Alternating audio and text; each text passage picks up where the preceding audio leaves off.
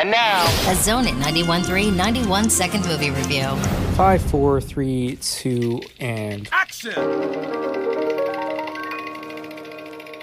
You've probably already made up your mind as to whether or not you're going to watch Borat's subsequent movie film delivery of Prodigious Bribe to American Regime from Make Benefit Once Glorious Nation of Kazakhstan, also known as Borat 2.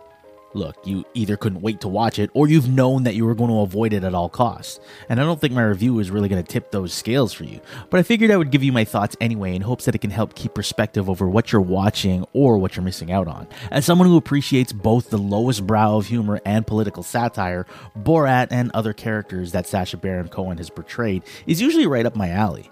Borat 2 was no different. But for a mockumentary consisting of political satire, tightly wrapped in lowbrow humor, I can see how it could be easy to lose sight of what Cohen has set out to do with this project. For example, I'm willing to bet it would be difficult for most to remember more of the specific interview subjects from the first film over how many Borat catchphrases you walked away with.